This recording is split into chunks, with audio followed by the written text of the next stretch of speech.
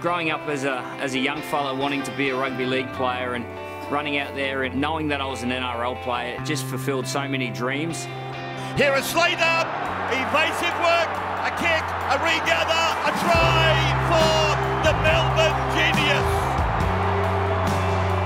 It's not easy, there's only been 30 players in the history of the game to, to play 300 and uh, to join that club is certainly something that I'm going to be proud of. Standing ovation for the champion number one. Off his left and right, gets it back to Slater,